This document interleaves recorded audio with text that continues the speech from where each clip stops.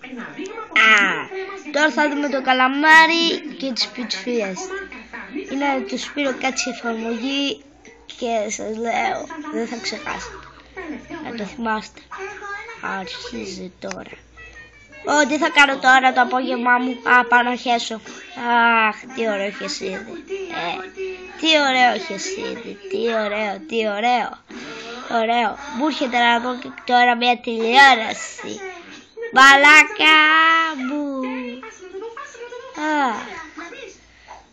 Baba balakas balakas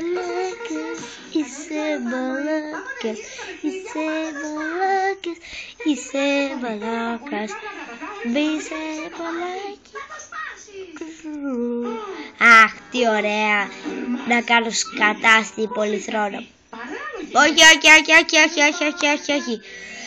Παιδιά, μέχρι τώρα ο Καλαμάρης είναι ο πιο σκατά άτομο που έχω γνωρίσει ποτέ στον κόσμο. Αλλά γι' αυτό λυπάμαι που σας το λέω, αλλά με αυτό το πρόσωπο θα κλείσει το βίντεο ο Μπομπ και ο Καλαμάρης σχέζει.